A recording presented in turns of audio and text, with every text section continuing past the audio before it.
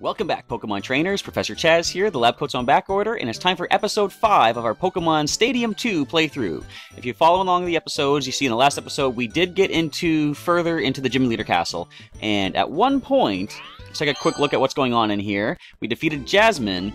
Team Rocket decided to show up and cause us some trouble. So, I was thinking about this. How do I want to deal with Team Rocket? What I would like to do is use the team that we battled against Team Rocket with back in Silver and bring them here. I got them all up to level 50, and I'm going to do a little bit of a tweak because on the team that we were using at the end of the Team Rocket side story when we try to rescue the radio tower from them, the uh, one of the team members was Machamp. Now, he's one of our active members on the team going through against the gym leader, so I did swap out Machamp from that Team Rocket versus team for another Pokemon. The Pokemon that was destroyed by a Weezing's explosion. And I'll explain that as we get to it. But let's take a look at the team I've prepared as we take on two Rocket Grunts and two Rocket Executives. We have a decent Team Rocket showdown going on today in Stadium 2. And let's choose the team from, of course, my game card. We got Keaton, the level 50 Heracross. They're all level 50. He has Horn Attack, Endure, Rock Smash, and Leer, and he's holding the Bright Powder, just in case he can dodge some hits with that. We've also got Bullwinkle, he's got Headbutt, Rest, Iron Tail, and Horn Drill, and if I didn't mention, he's a Tauros. And he has the Paralyzed Cure Berry. Now, in the last episode of Pokemon Silver, I did pick up a Mint Berry from in Pallet, or not Pallet Town, Pewter City, or so I thought. But it must have been that the pack was full, and I didn't notice that because I do not have a Mint Berry accessible. I wanted to use the Mint Berry to make use of the Rest attack, but since we don't have that, I could give him a basic Mint Berry from the in-game items here, but I decided, you know what, let's just go with Paralyzed Cure. If he has to rest, he has to rest. I can switch him out if necessary. So he is our second choice. Stinger at level 50, of course. Our Beedrill with Twin Needle, Endure, Poison Sting, and Swift. I didn't yet go back to the Lake of Rage to pick up the Sludge Bomb TM, but you can be rest assured if I had, he'd be having Sludge Bomb instead of Poison Sting. But we'll probably take care of that before we finish up in uh, Silver. So he's got the Focus Band, which might save him from a KO. It's a 1 in something chance that he won't get knocked out if he's holding that. He'll go down to 1 HP, which would be pretty good. He also has Endure in case he needs to make use of that as well. Next we have Gary. He is the one that's replacing Machamp. Now, Gary is the one that was obliterated by Weezing's explosion. Our highest defense at the time, I think, but he still couldn't take it. But he is back for revenge against Team Rocket. I did do some in-between episode stuff to get rid of a couple of the HMs that he had. I got rid of Surf, I got rid of Whirlpool. He doesn't need those because he has Waterfall. He's also got Takedown, and I also taught him Rain Dance to power up the Waterfall, and Rock Smash just for some type diversity, plus we could lower the physical defense. It's not going to help Waterfall, of course, but it could help power up Takedown, and he's holding King's Rock to possibly cause some flinching. Next, we have Marowak, our Marowak. He has Bone Club, Submission, False Swipe, and I taught him Thunder Punch instead of the Rage attack that he had. His special attack is only 69, about less, not less than that, a little more than half of what his physical attack is. However, it is going to be useful in Gen 4 when eventually Thunder Punch becomes a physical type attack. So therefore, I figure let's teach it to him now, give him some type diversity. If you know if it's going to help him out or not, we'll have to see. But if he's up against a flying type, at least he has something that would be good, if not just good, super effective. He's holding Quick Claw to possibly get him to outspeed because the speed's only 70. And the final Pokemon is the Brain, our Hypno. He has Dream Eater, Seismic Toss, Hypnosis, and I taught him Nightmare from TM. Now, it's all going to rely on getting things to sleep with Hypnosis, because we can either Dream Eater or Nightmare at that point, and just for some reliable 50 damage on the opponent, we have Seismic Toss, and the Brain is holding leftovers for heal up between turns. Let's get this battle against Team Rocket underway. This is time for revenge against Team Rocket, although we didn't really need revenge, we only lost one Pokemon to them. Do you know where you are?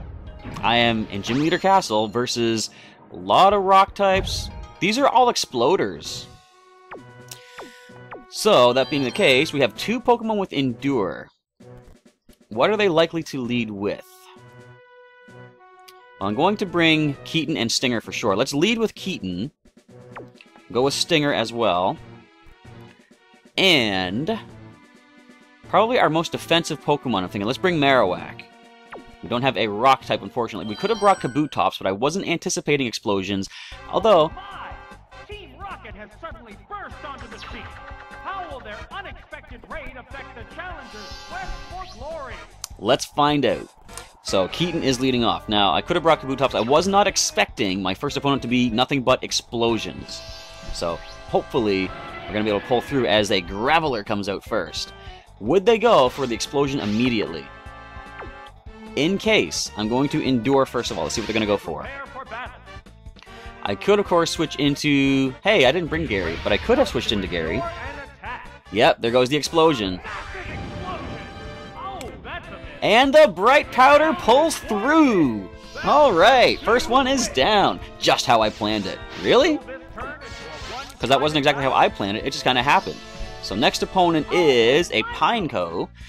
I think we could survive an explosion from this. I'm going to... Let's just go Horn Attack. No, let's go Leer, just to lower the defense. And see if the explosion or self-destruct, whatever it goes for, is going to be enough for Keaton. Because, worst case scenario, I can go into Stinger next and endure that. Explosion, that's the most powerful move, but Pineco has kind of bad attack.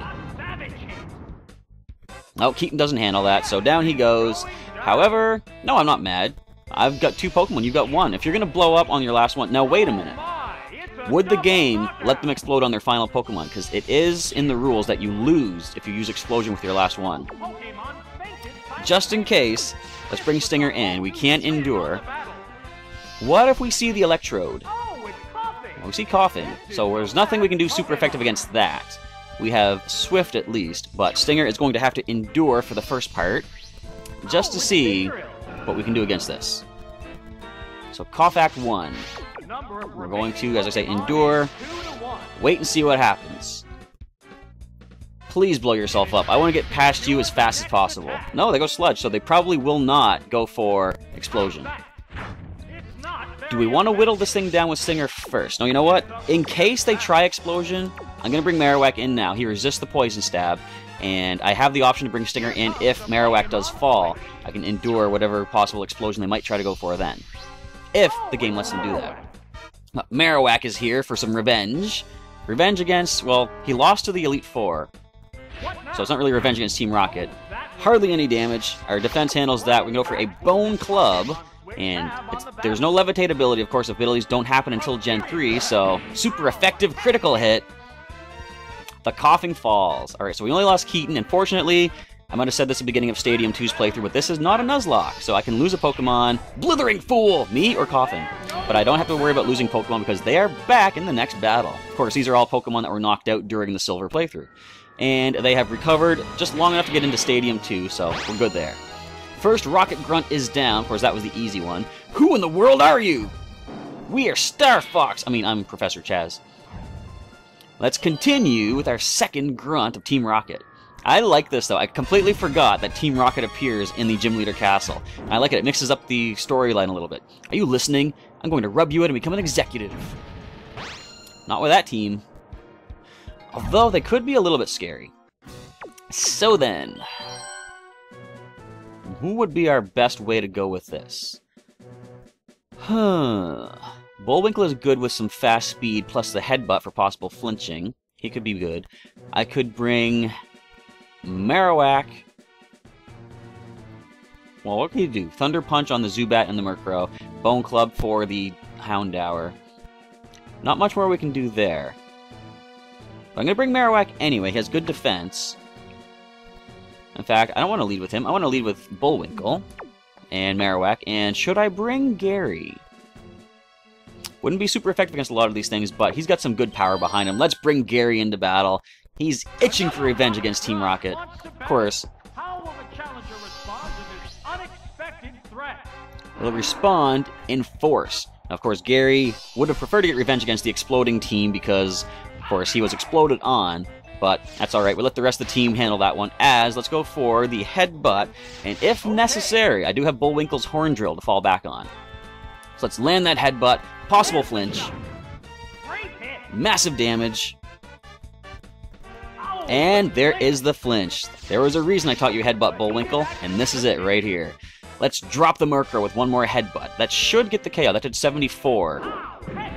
And a critical hit. If that wasn't going to get the KO regardless, then the critical hit cinched it for us. Down goes their first Pokemon. I'm not joking at all, ma'am. Next Pokemon in. I like this. I, I like the fact that now that I'm not being stubborn like I was back in Stadium 1, and I'm allowing myself to use other Pokemon, I'm having fun with Gym Leader Castle.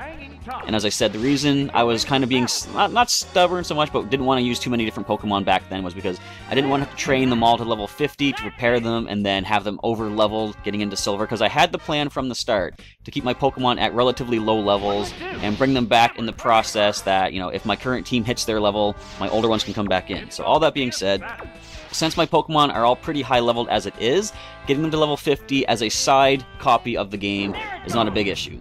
Look at the criticals. Did I give him the King's Rock? I think I gave, yeah. I think I gave him the King's Rock because Gary I gave the, uh, where did I give Gary? I can't recall. No, I gave Paralyzed Cure to Bullwinkle. He's just landing these criticals on his own. Awesome. It's, I don't think criticals are based on speed stat in Gen 2 either. So it's just Bullwinkle's natural power. One more headbutt will bring this down as it flinches. Look at this. Bullwinkle single-handedly or single-hoofedly took down this grunt. You ain't becoming no executive anytime soon, miss. Sorry to say. Boom! And another critical! Does Headbutt have a high chance to critical hit? I don't think so. It just is Bullwinkle doing his thing. So, with not a lost Pokemon at all, we take down that grunt. Now then, we're getting to the executives, though. We're going to have probably, uh, and if not fully evolved, then higher evolved Pokemon. Maybe I should go back home. Yeah, maybe you should. Alright, but as I say, the executives are up next. Let's see how well we do. It is just Team Rocket, though. Gotta keep that in mind. Your trip ends here. I'm going to take you down. A better team, I will say that. Now then, we see a couple weaknesses to ground and three weaknesses to fighting. Marowak is the best choice in that case. I will lead with him. To resist the Vileplume's attacks, Stinger is the best bet. And he can get some good damage off on that Sneasel as well with Twin Needle. So Stinger comes in next. And to wrap things up, I think I'd probably just go with Bullwinkle for some more possible flinching. That's going to be the team. Now, if we see the Vileplume as the lead, we're going to switch immediately into Stinger, of course. He can resist those grass attacks quite nicely. Double resistance, plus the decent special defense of a Beedrill. He's the best bet there, but Marowak can handle pretty much anything else except Sneasel. Muk, we can deal with that. We're going to go ahead and fire off the Bone Club. Are you going to switch out by any chance? Nope. You stole my Quick Claw! That was Thief! Alright, that's it. Boom! Oh, not as much damage as I would have liked. But now, with the Quick Claw, they might outspeed us, even though we just saw they already do. Fire Blast? Alright, let's see what you got. Not bad, but as much as my Bone Club did. Problem is, Bone Club has a chance to miss. Not this time, though. So then, we're going to go one more Bone Club. I would try Thunder Punch, but I don't think I'd get enough damage off for the KO. Fire Blast is less accurate, I believe, than Bone Club, so they might miss this. Nope, they get it. But can we land the Bone Club? There we go. All right, Muck Muckep is down. Marowak is still in there. We're gonna probably see the Vileplume or the Sneasel at this point. So that being the case, we're gonna probably switch out into no Lickitung. We could go submission against this. I'm gonna do that. We'll go submission. Now, recoil might bring us down, unfortunately. Almost half damage. Alright, so... Probably Bullwinkle is best to come in next to go for some flinching with the headbutt. Oh, frustration. Yeah, Stinger can't handle that. It's a physical type attack, plus it is stab on a Lickitung, so Bullwinkle is our best way to go. Let's go ahead, Bullwinkle. Go for those massive headbutt flinches, criticals that you've been getting. Yeah, how many criticals and flinches was that? I lost count. That was quite a decent amount. So Tauros come flying in with those headbutts. And if Sneasel comes in next, I go for the super effective Iron Tail, but I think headbutt's still the way to go. Yeah, one more would get the KO, I think. And I'm gonna steal my Paralyzed Cure Berry. Ew. Critical steal, critical thief. And that was hardly any damage to worry about. Alright, let's do this. I think one more gets the KO at this point. Wait for it. Oh, come on. Now, you gotta flinch, though. Blizzard? Fair enough, I guess. Let's go ahead and finish up. And see what comes in next. Now, I could rest and heal back up, but since I don't have that mint berry, I kind of don't want to spend the time recovering, unless it's something that can't really hurt us. Let's see what comes in. With the Lickitung Falls. I like how we're battling on this suspension, not suspension bridge, but like a bridge suspended over the uh, air here, too. Left. gives it a real dramatic effect. And there's a Team Rocket in the back I didn't even mention. Eradicate, you might be faster than us. You are fast, but are you fast enough to outspeed our battle trained Bullwinkle? You are not. Let's go ahead and headbutt. There's the That. That's all? And frustration, ooh, that'll hurt. How's that? The hit We hung in there though. Now you might have quick attack. In fact, I'd be surprised if you don't at this point. I'm surprised. Now, can we flinch it out? Or a critical? I think he used all his good luck in the last fight. Yeah, frustration brings us down. But I believe is Stinger even faster than Bullwinkle?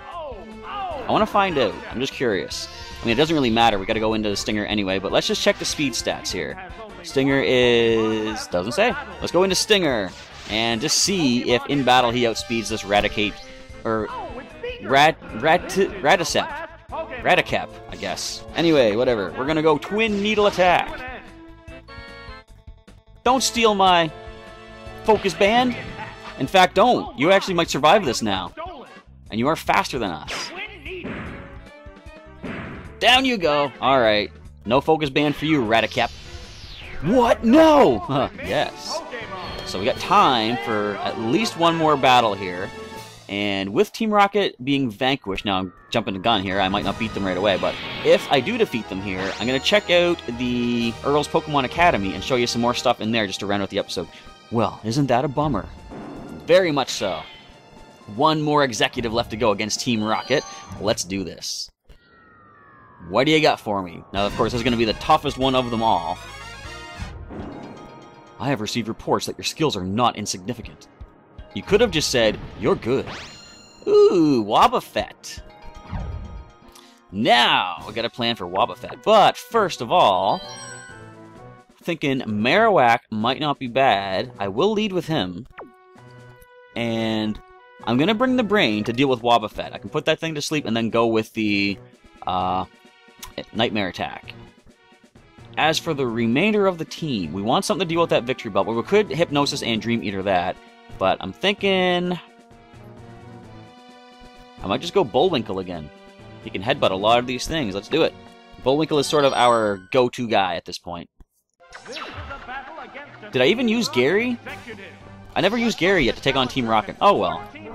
I am happy to get his moveset back to something more useful as we get him into future generations, of course, because uh, Water Pool, Water Pool, Whirlpool, Waterfall, and Surf, not really that good as a combo. So, if you have Sunny Day, you might have Solar Beam. Let's see what happens here. We're just going to switch out. No, you're charging up a Solar Beam. Alright, I should have brought Stinger. But we could get a KO here. that had to hurt. No KO, but we see, of course, the Houndoom is faster. Our best specially defensive Pokemon is the Brain, but he is Psychic type. Let's go Bullwinkle. We should be faster than the Houndoom, the Doomap, and go for... it's like something on your cell phone these days. It's a Doomap. Pokeball. So let's go ahead and go for a Headbutt as we survive the Solar Beam. I'm calling it right now. We're not falling to no Solar Beam from a Houndoom. Although they are kind of power, but it's not Stab. And Bullwinkle, is your special defense okay? Not as okay as I would have liked. But this does give us a chance to go back into Marowak and go with a powerful Bone Club, which we know will get the KO. And you got to spend one turn charging that Solar Beam, Doomap. This Is it going to be enough time? Now, basically, is it going to be enough time for you to dodge a Bone Club? I don't think it is. But again, Bone Club is not fully accurate. I was gonna say, we went first this time? Oh, wait, yeah, the Quick Claw. Excellent. All right. Now, I could have taught Earthquake to Marowak instead for full accuracy plus more power, but to me, it just doesn't feel right to have a Marowak without a Bone type attack. That's why even in the current generation of Gen 6, you'll see my Marowak uses Bonemerang as opposed to like Earthquake or whatever. So this might have Giga Drain. Hmm, I'm gonna leave Marowak in. We did teach him Thunder Punch for just such an occasion. We could get a paralysis. I believe it's a 1 in 10 chance, and the Quick Claw activates again, and we do get the paralysis! Alright. Alright, we're pulling through. Marowak is doing this. Now, Giga Drain would be a problem, but I'm gonna go with another Thunder Punch. If they do Giga Drain, they're gonna heal back a lot of HP, but I'm thinking if we can bring... Yikes! If I can bring the Brain in, which I'm going to have to do right now. But once he comes in, we can go for a Seismic Toss, which will now get the KO, because it has less than 50 HP. Let's go, Brain. You can deal with this. You're going to outspeed thanks to the paralysis on the Golbap. These names are crazy, aren't they? Now, once we get into the Pokemon Coliseum games, you're going to see some even crazier names than this. You know, I've said before, to me, it, there's the Giga Drain, but to me it feels like they just took random letters from the alphabet and put a name together using them. You'll see, though. And exactly 50 HP. Nice. We can get the KO. And there's those leftovers recovery. Let a Seismic Toss away. Of course, we can't put this thing to sleep for the Dream Eater or the Nightmare, so this is the way to go. I'm glad I didn't remove Seismic Toss off you, Brain. Down goes the Golbat. Now, if we see the Wobbuffet, I, I want to see the Wobbuffet. I want to be able to use the tactics of Hypnosis. Come on, do this. Nope, Misdreavus. So I can still go ahead and Hypnosis this, though. Ghost is super effective on me, and they do have Shadow Ball, I'm sure. But our best way to go is put this to sleep. We can, of course, Seismic Toss this, so... Our only hope is to put it to sleep and go with the Recovery of Dream Eater or the Nightmare. Ooh, that's painful. Now, the Hypnosis has to land, though, is the problem. So then... There we go. Alright. No berry to recover. That's great. Well, it's going to come down to Marowak. Let's just hope the Shadow Ball misses. Of course, it's not going to. But there we go, so we just lose the brain here. With a critical hit. Unnecessary. Calm yourself down, Misdreavus. But, Marowak, can you pick up the KO? This is looking a little bit scary, a little bit worrisome. If we could go first with a Quick Claw and flinch with the Bone Club, that might be what we need to happen to pull through here. Nothing else can really do anything. We can paralyze with Thunder Punch, but we gotta try for the damage. Curse. So you're gonna cut your HP in half. Oh! Did you see that? Look how creepy that thing is. Come on. Flinch it! Well, not flinch it, but... If the Quick Claw activates and we can pull through... Get away from me, you little Knights monster. Come on, Quick Claw. Come on, Quick Claw. Come on, Quick Claw. Pain Split. Come on, don't do this. Man, they're to beat me. Critical. Or miss. Now, we need a critical. We need a Quick Claw critical. Come on, come on. You can do this. Never you mind. So we lose our first attempt against this, not gym leader, but this first Team Rocket member. Let's go ahead and end this off. I'm going to skip right back to the final hit of this battle just so you can see the ending of it. But I'd like to say good game to my opponent, but no. Not a good game. Not a good game at all. Curse you, Misdreavus. Actually, yes, curse you, because you cursed yourself. You may have the qualities to become an executive. Well, no thank you. But let's come right back as I take on the Team Rocket Executive once again. Alright, let's go with round two versus this Rocket Executive. See if we can do better this time. I'm going to lead Bullwinkle this time. Go for all those critical flinching headbutts against a non-ghost type being Houndoom. Alright, I was expecting Misdreavus to appear out of nowhere. But I don't think your defense is terribly good, Houndoom. Let's go ahead and go for that headbutt. See how much damage we can get off. Possible critical, possible flinch. I'm not going to hope for either, but I'll accept you want to give me. Or neither. But we see it as a three-hit KO and a sunny day, so your solar beam is going to fire off every turn now.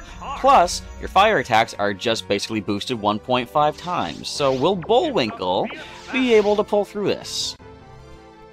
I don't know. Let's find out together. Land it. No critical. We get a flinch.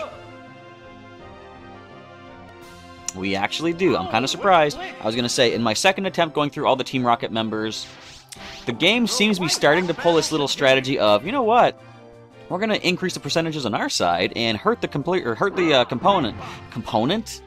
hurt the opponent, I was trying to say computer for some reason, and lower their percentages. By this I mean they were getting three turn detects and two turn protect. So two turn protect is not that hard to believe, but after a 50% chance of detect on a second turn and a 25% chance on the third turn, they still got it. And it's like, it's not unheard of, but it's very uncommon for a human player to get that. So the fact that a computer manages to pull it off is hard to accept.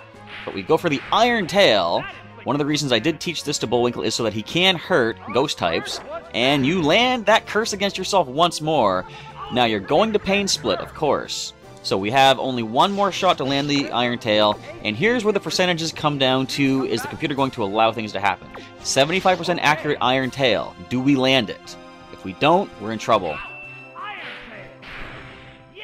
I'll take it. So down goes the Misdreavus. I don't think the curse hurts me now that I've gotten a knockout on that turn, and I can switch out, of course. Nope, curse does not affect me. It is still in play on Bullwinkle, however. Now I gotta switch out. And we don't even get to see the Wobbuffet this time. Golbat is in, and the sunlight fades. Who do I switch to? With the sunlight down, I could go to Gary, but they're gonna confuse Ray. Let's go into the brain first. I'm to bring him in, see if we can get the Hypnosis and Dream Eater combo off, which might do the trick. But if not, I go to Gary and go for the Rain Dance and then try to flinch. Hang on, does Waterfall cause flinching in this generation? That might be something that added later on, but we're to find out. Confuse Ray. I'm willing to let Brain fall at this point because he does not outspeed the Golbat, so even if I was to pull him back and let somebody else fall, there is a possibility that the Golbat is still going to outspeed and confuse him regardless and they go for a super effective bite attack, but I think your special attack is nothing compared to our special defense. Critical hit, though. Come on, you can land this. Do it, buddy. They do fall asleep. Excellent. We saw Mint Berry was on the Misdreavus already, so therefore the Golbat will not wake up immediately. Now, being confused, are we going to break through again or completely snap out? We break through, land the Dream Eater. That's going to do some massive damage. At least half, I'm sure. We almost set it up for a Seismic Toss KO, but not quite. We are back to full, though, with our leftovers recovery plus the Dream Eater, so one more Dream Eater should do the trick, unless it wakes up. Still snoozing. Now, can we break through the confusion? Not this time. I'm expecting the Golbat's going to wake up. And since we are not free of confusion yet. They wouldn't go con for confused right? They might go bite again. I'm going to switch back to our fast Bullwinkle and go for a headbutt KO. I could go for Horn Drill too if I want to be really, you know, creative with my ideas, but I think let's go reliable damage with the headbutt, fully accurate. And if it doesn't knock it out, we could possibly pick up a flinch. Oh, it stayed asleep. We could have stayed in and gone for one more Dream Eater. But regardless, we are now in with Bullwinkle. Headbutt away. See if we can drop this Golbat and finish up the Rocket Executive. Down they go. Alright, so on our second attempt, we do manage to pull through as we rub out the Team Rocket executive, and this should be where Team Rocket finally, in all the games, disbands and never affects us once again. Maybe. We win, almost a perfect win there, too. It pains me to see your talent go to waste. It's not going to waste, it's going to wiping out Team Rocket. So, there we go. We have dealt with them. We're back on track to make it to Mahogany Gym with three Pokemon in here, or three trainers in here. We're going to wait and save that for the next episode because this has gone on long enough. We've dealt with Team Rocket. Thanks to that loss, I don't get to show off Earl's Pokemon Academy, but I might be able to do that in the next episode. In fact, I'll start the next episode with that, showing you off what the new information is that I accomplished by going through all the different challenges and such. But anyway, that being the case, feel free to leave a comment down below what you think or what you thought of this episode, what you've been enjoying thus far in the playthrough, and what you might be looking forward to in the future of the Pokemon Stadium 2 playthrough. And what was I going to say? Thanks for watching. I forgot to mention that at the start of it. But yes, feel free to leave a comment, and feel free to let me know if you would like to see any other Pokemon from my collection that I'm using in Pokemon Silver right now for future challenges. Because once we are done with Gym Leader Castle, we'll go into the Prime Cup and the Poke Cup in the main stadium attraction of this game. See if we can get some victories in there as well. And feel free to check out the playlist that's linked down in the description if you have missed an episode of Pokemon Stadium 2. It's all down there for you. Click that, you can get the full playlist, and click onto my channel for more playlists of other games like Pokemon Silver on the go right now. Wi Fi battles, and Pokemon TCG. All sorts of Pokemon content if that is what you're interested in checking out. All that being said, Professor Chas is signing off, and come on back tomorrow for another episode of Stadium 2 for the weekend. Until then, I'll catch you next time.